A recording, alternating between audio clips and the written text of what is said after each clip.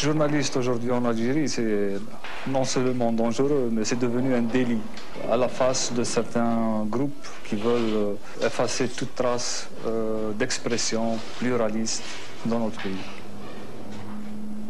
Le pouvoir aujourd'hui porte une lourde responsabilité dans euh, la situation actuelle du pays.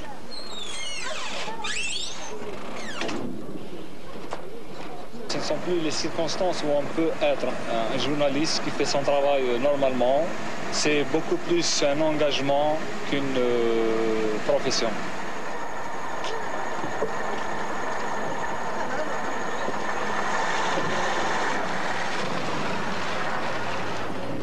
Je me sens concerné, voire menacé. Je prends mes précautions. Là, je fais mon boulot normalement. Je me dirige vers l'Académie Tizouzou, où euh, il y a un gros problème qui oppose euh, l'inspecteur de l'Académie aux fonctionnaires de l'éducation. Je vais aller voir ce qui se passe.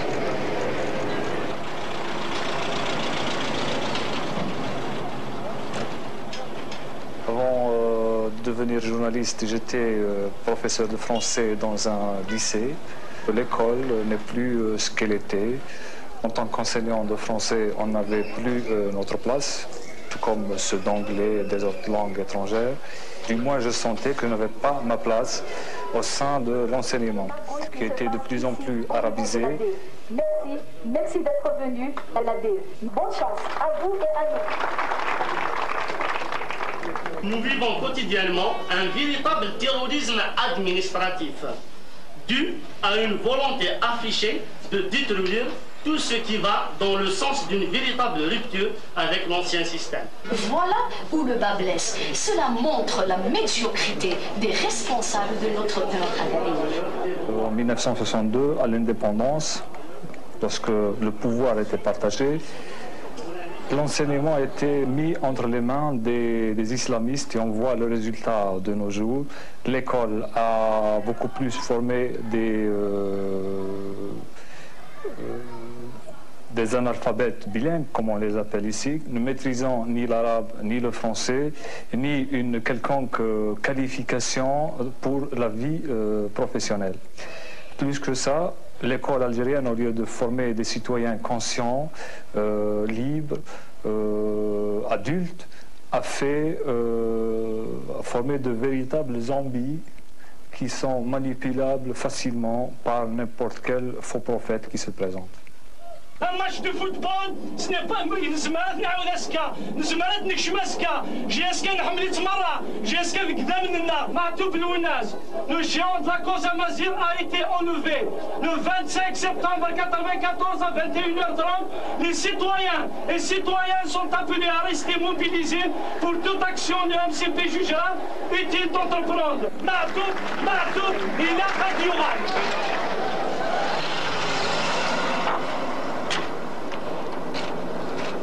Là, c'est l'endroit où ma tobe a été enlevée. Dans ce genre de reportage, on est obligé de qu'on se déplace. Concernant euh, les risques qu'on peut euh, courir, c'est le métier. C'est par la suite qu'on pense aux risques. L'enlèvement de ma c'est tout d'abord et avant tout une provocation. Provocation par rapport à la population, une provocation par rapport à, à la revendication principale du mouvement culturel berbère, on veut pousser les gens à euh, aller vers euh, l'irréparable.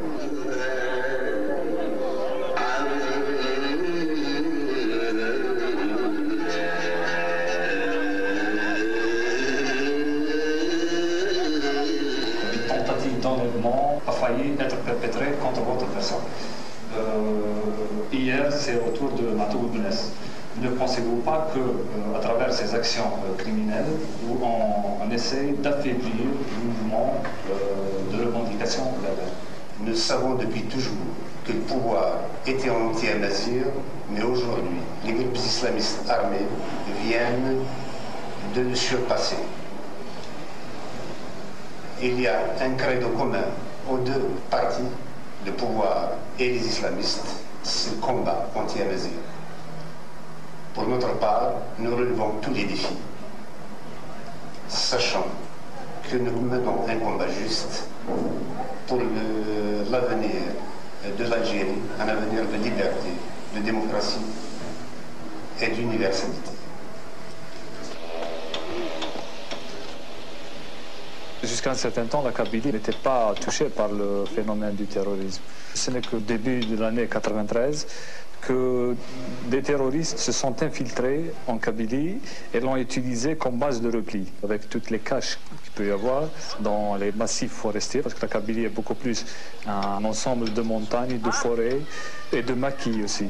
Et puis, il y a eu les attaques de villages, des groupes terroristes qui s'attaquaient à des villageois pour les délester de leurs fusils de chasse. Et puis, il y a eu les assassinats, ça a commencé à Tizi Ouzou. Et le dernier acte terroriste, c'est l'enlèvement de Mato. Il n'y a eu aucune revendication euh, du groupe qui l'a euh, enlevé. Bon, euh, on pense maintenant que il est, il est vivant et que le groupe qui l'a enlevé s'est aperçu par la suite du poids du kidnappé que si lui il y est arrivé malheur, ce sera, euh, ce sera, véritablement, euh, ce sera véritablement la guerre euh, contre les intégristes. Et pourquoi pas contre le pouvoir.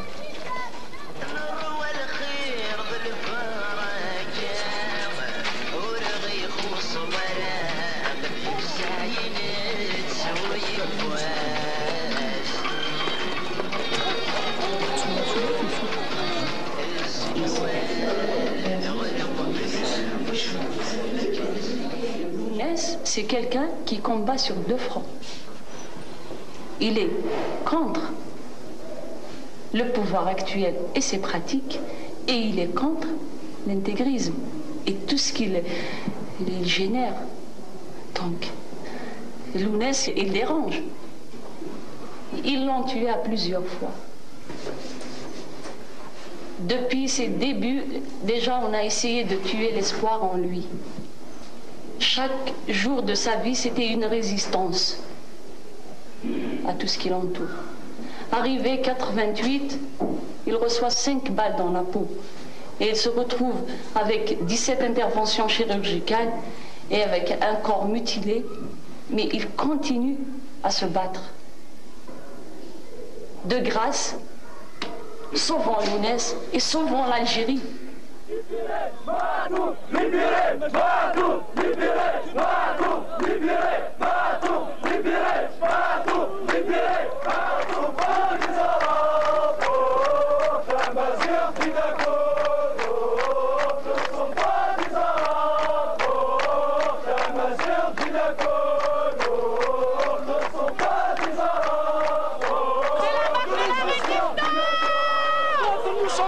Matou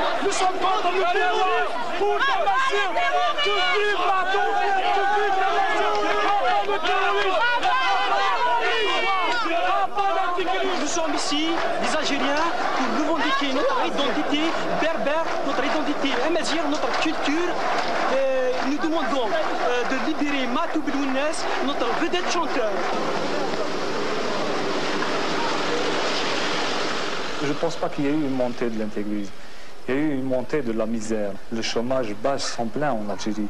Plus de 30% de la population est au chômage. Les gens ont besoin de logement, les gens ont besoin euh, d'une formation. En gros, les gens veulent vivre euh, une vie décente. Et le groupe politique qui pourra arriver à mieux expliquer ces possibilités sera un groupement démocratique, parce que la démocratie, c'est aussi ça.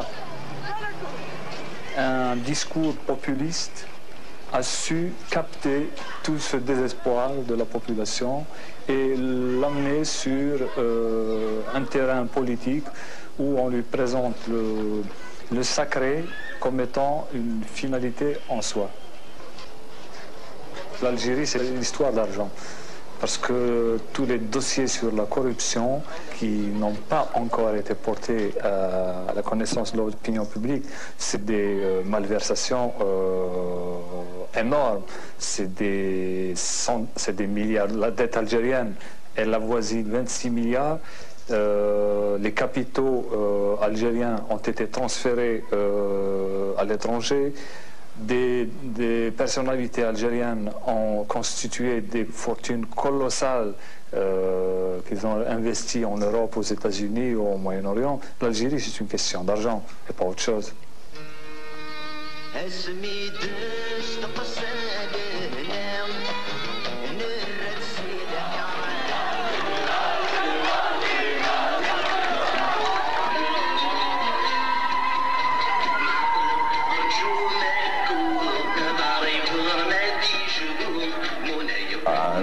De mètres de l'endroit, ils m'ont baïonné. Ils m'ont mis un bandeau euh, sur les yeux, donc je, n'ai jamais su où je me trouvais. Même quand, bien sûr, je me suis retrouvé dans des forêts, euh, on, voyait que le ciel, même pas. Euh, j'étais dans des casemates. Ce qui me faisait peur surtout, c'était quand on me déplaçait dans des voitures parce que des fois, il forçait des barrages et on recevait des coups de rafale. je me suis dit, c'était fini.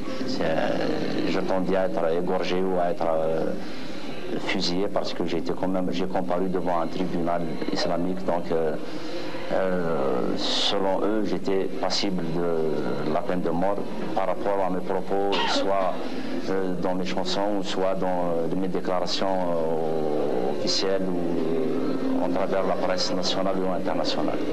Une chose est sûre, c'est qu'ils m'ont à aucun moment agressé, ni physiquement, ni oralement je remercie Dieu, mais je n'ai pas à remercier le GIA. Euh, parce qu'ils ont quand même créé un climat de torpeur euh, en travers ma population. Donc ils ont commis quand même un, acte ignoble. Peut-être que dans leurs intentions, c'était pas ce qu'ils voulaient faire, mais une chose est sûre, ils l'ont fait.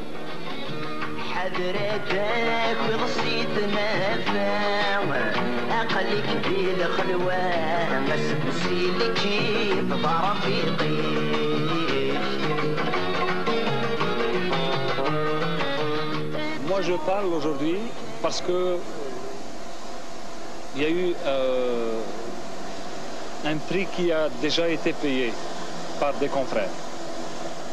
Ils ont osé parler, non pas devant une caméra, mais ils ont tout simplement fait leur métier. Ils ont été assassinés. Là, je parle parce que euh, je ne peux pas hmm, me cacher ni m'exiler. Me cacher, ça aurait été une sorte de trahison vis-à-vis de mon métier, parce que mon métier, c'est un engagement. Avant tout, c'est un engagement. Et puis, euh, à la mémoire de ceux qui sont tombés en faisant leur métier. Et à ce propos, je, parle aujourd'hui, je parlerai demain, tout, comme je continuerai à faire mon métier le plus normalement du monde, là où je le fais.